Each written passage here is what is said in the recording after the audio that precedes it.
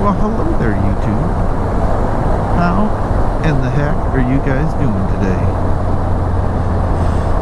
I am on my way home on a Friday from work on the old Spyder. I got out late, so I'm kind of coming through here a little late. But that doesn't make it any less beautiful out here. And this is my road right here.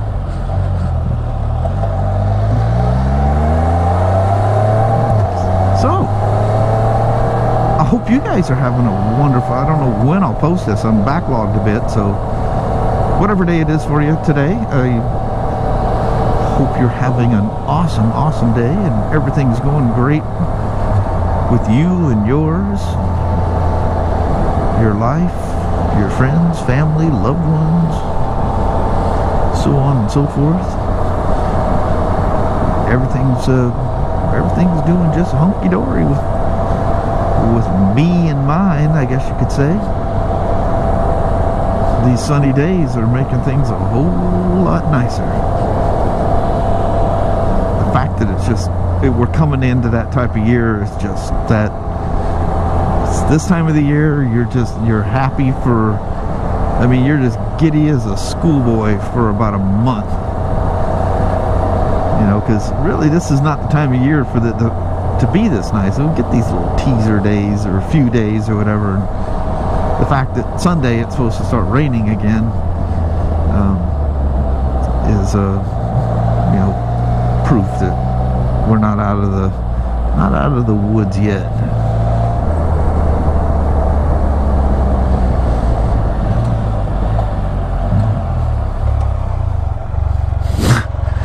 That tree is, excuse me, that, that, tree is almost all the way out of the water now, isn't it? It is out of the water. Tip of it is anyway. Isn't that weird how debris and stuff that's come down through it just debarked that tree?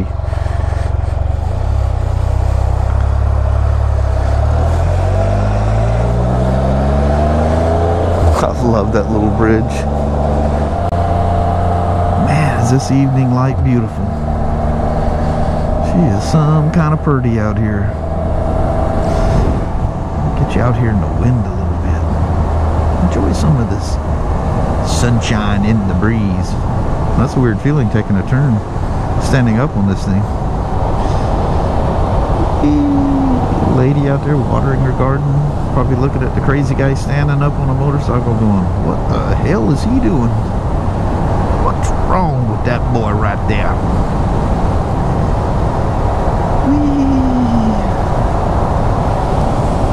Construction stuff going on. Oh, I'm getting pelted by bugs. Doesn't look like I got anything on the lens, so you're somewhat safe.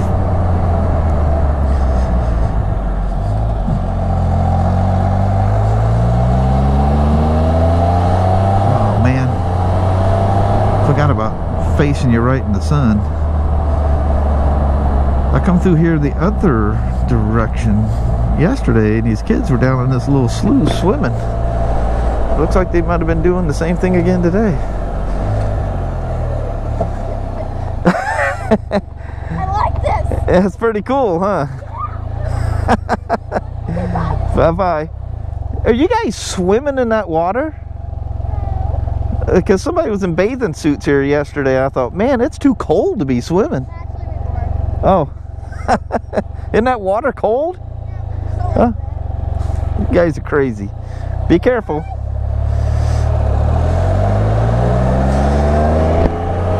You people are crazy.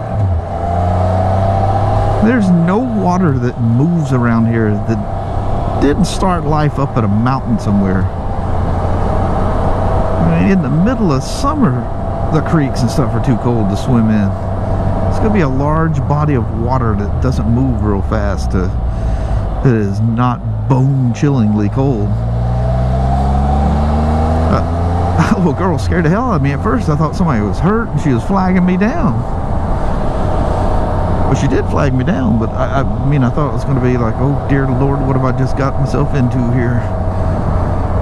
Talking about kids swimming down there, I thought she was going to tell me somebody went under and I can't find them. It's amazing the crap that goes through your head in just a a split second. Often somebody flagged you down going down the road. Kids are extremely outgoing nowadays. You ever notice that? Crazy. I mean, I like it, you know. But I don't like people to feel all shy and scared of everybody. But you probably shouldn't flag some guy right down the road on the motorcycle down either. Could be some crazy old bastard, you never know. Hmm, I wish you could see Rainier sitting out there. I do have a camera coming that may may rectify that, but I think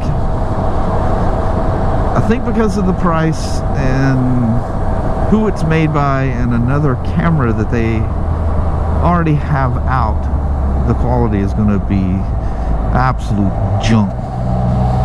So I don't have high hopes, but the price is for what it does, whatever the price, I guess is okay. I don't want to tell you anything because I, I want it to be a surprise. I want you to be surprised. I just got a text. That was probably from the little woman. So anyway, I, I blipped that damn throttle again. The, the 15s and the 16s aren't don't have quite the reaction if you blip the throttle as the uh, the 14 and earlier one, especially the 14. That the 14 was very sensitive, which I really liked. I, I actually wish they wouldn't have wrote that out when you back off the throttle, it almost throw you through the windshield, you know. The worst, the worst thing is when you had the cruise on, you reach up and go touch that brake pedal or something, and you didn't equalize the throttle, you know. That thing go, whoa. So I guess in a sense that was dangerous. I thought it was fun. What I really love is when you came into a corner and you backed off and you got the old back wheel chirping and it tried to step out a little bit on you. Of course it won't because the vehicle stability control kicks in and spoils all the fun. But uh, anyway, I blip the throttle, makes them. It, it, can occasionally make them shift weird. It doesn't do it as bad on the 15s and 16s because I guess enough people are doing it. BRP must have. There's an algorithm in there that looking for the idiots that blip the throttle on these SE models, the semi-automatics you're supposed to just hold the throttle steady and just upshift. Like if you're, you know, bombing along and you're giving it full throttle, you just, uh, just hold it and shift. It's almost like a like a speed shifter on a modern sport bike. Anyway, on my lonely stretch of long straightaway here, I'm going to say goodbye like I do in the same place so many times. You guys probably going.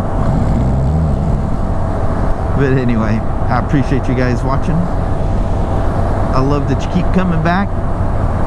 And uh, I love all the comments. I wish I could answer every one of them all the time, but I just, I can't. But uh, I do read them all. So I, I thank you from the bottom of my heart. So you guys have a wonderful, wonderful day now. Thanks. Bye-bye now.